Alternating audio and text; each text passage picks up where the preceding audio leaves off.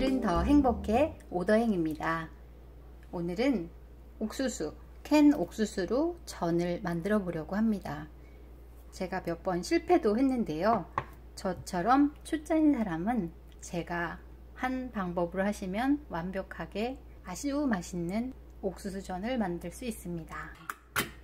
이 부분을 짠 해서 지렛대 원리를 이용해서 눌러서 네 이렇게 따주고 있습니다. 날카로우니까 조심하시고요. 많이 나오는 게 아니라서 요건 버리고 또 부침가루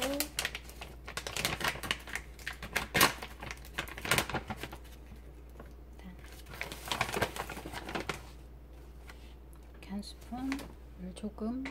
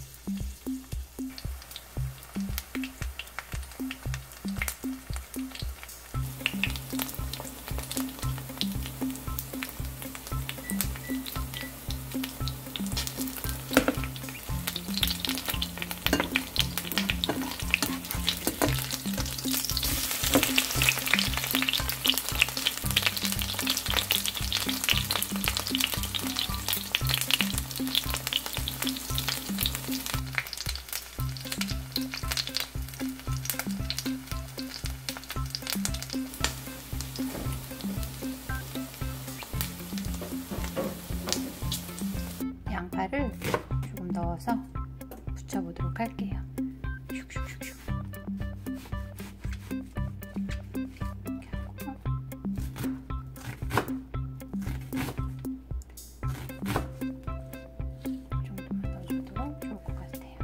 넣어서 한번 붙여보려고 합니다. 양파의 달달함이 어떤 맛을 얼마큼 맛있어? 엄청 맛있어?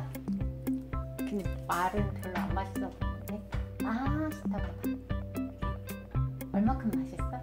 엄청 맛있어요. 엄청 맛있대요. 이거는 양파를 좀 넣었기 때문에 부침가루를 넣어줄게요.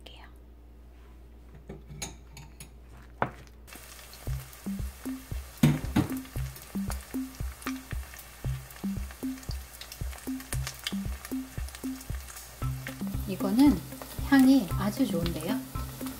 아까 옥수수만 했던 때하고는 또 다른 향이 나요. 와, 맛있겠는데요?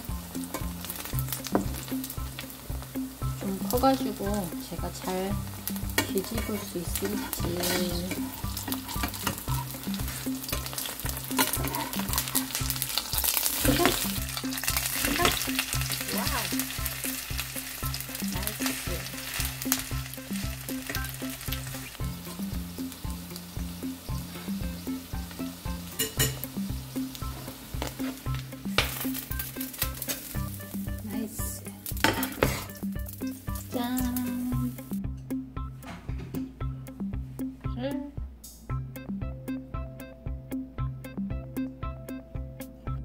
양파 향이 나서 정말 맛있어요. 음. 음.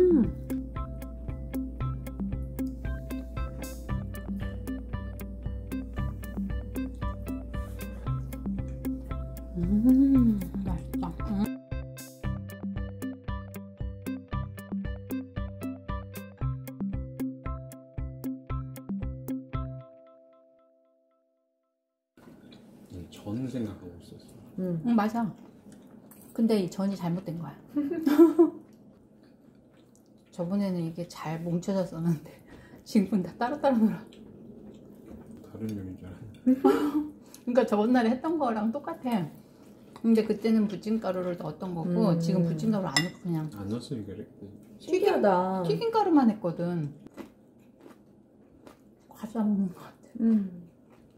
음. 별미다. 음. 그래 진짜 별미네. 그 말이 음. 딱 맞다. 음. 재밌다.